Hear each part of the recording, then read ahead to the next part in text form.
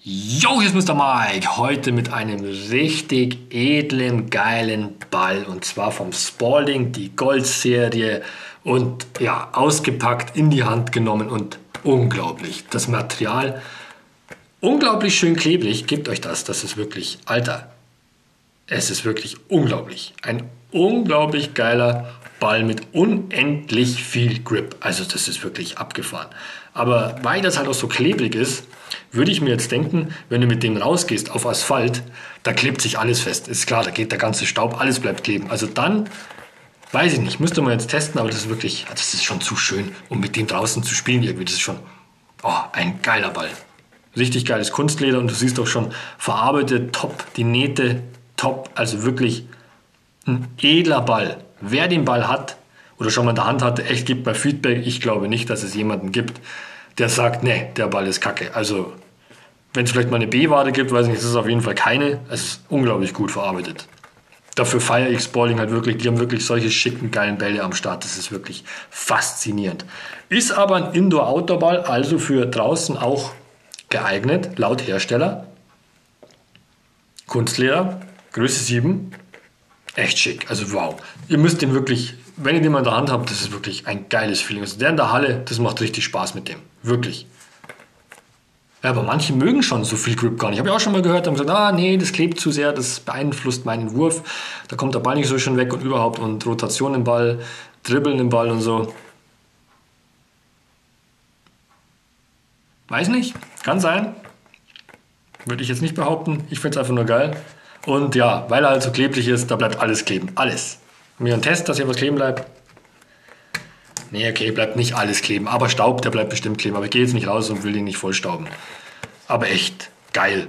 Hammer. Ja, Kostenpunkt, da kommen wir dann wieder zu der Sache, wo viele sagen, ah, nee, nee, Mike, Bälle bitte nur unter 20 Euro.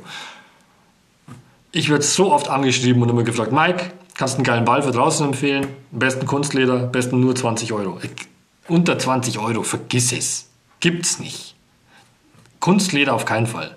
Ich empfehle nicht ohne Grund, ich sage es ja auch immer, immer, immer wieder, muss ich sagen, weil es schreiben mich ja immer so viele Leute an und weiß ich nicht, gucken die meine Videos nicht, haben sie sie gesehen oder glauben die mir nicht und wollen nochmal eine extra äh, Prognose dazu haben, ich weiß nicht. Das Spalding äh, TF1000 zum Beispiel, hammergeiler Ball für draußen, für Asphalt. Ich rede jetzt von Asphalt, nicht von Halle, weil Abnutzung, die unteren Schichten, die untere Schicht, bei dem weiß ich jetzt natürlich nicht.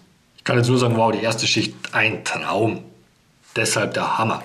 Äh, der Grip Control, auch absolut geiler Ball. Wenn die ersten Schichten weg sind, für draußen Asphalt, ey, legendär. Grip Control, ähm, 44 Euro, immer natürlich so 5, 10 Euro hin und her, das variiert. Äh, TF 1000, lass mich lügen, 60 Euro gerade, ich weiß es nicht genau. Da muss man echt selber, da muss man echt wöchentlich, monatlich mal gucken, wie hoch ist gerade der Preis. Der jetzt gerade 40,60 Euro ist natürlich auch wieder ordentlicher Preis, ne? Aber echt, es ist halt ein Unterschied, wenn du jetzt so einen geilen Kunstlederball hast, wo halt echt der Grip so Hammer ist, dass du ihn so halten kannst, oder einen billigen 5 Euro Gummiball kaufst, wo du nach zwei, drei Monaten die Tonne schmeißen kannst und vom Anfang an kein geiles Feeling hast. Das ist einfach das. Also wahre Baller werden das einfach zu schätzen wissen, sowas in den Händen halten zu können, mit sowas spielen zu dürfen. Das ist einfach aber Geschmäcker sind auch verschieden. Malton, äh, Spalding, was bevorzugt man, was hat man im Kopf rumspuken, was die Lieblingsmarke ist. Aber ja, kann nur, also den echt eine absolute Empfehlung. Checkt den aus, da macht er nichts falsch damit. Ja, der Langzeittest muss natürlich, ja, da kann ich jetzt natürlich, natürlich nichts dazu sagen. Aber wenn jemand einen Langzeittest hat, gemacht hat oder so, und ich weiß, einige haben den Ball, äh, mir wurde der Ball schon oft auf Instagram Fotos geschickt und haben gesagt, geiler Ball, kann ich nur bestätigen. Kommentare da lassen für alle anderen Leute, das finde ich auch immer cool, feedbackmäßig. Und das finde ich auch immer cool, äh, ganz wenige, ganz, ganz wenige, wenn überhaupt, sagen was gegen meine Meinung zu den Bällen, weil es halt wirklich es ist einfach ein geiler Ball. Der TF1000 und der Grip Control, die werden von so vielen Leuten gefeiert. Beim Grip Control war ab und zu B-Ware unterwegs, das hat man auch bei Amazon, bei den äh, Kommentaren, Rezessionen gelesen. Aber ja, für B-Waren natürlich kann ich nichts. Das ist keine B-Ware, deshalb feiere ich den. Geiles Teil. Also Feedback geben, eure Meinung. Vielen Dank fürs Zugucken, euer Mr. Mark. Mr. Mark. Mr. Mind, Mr. Mind.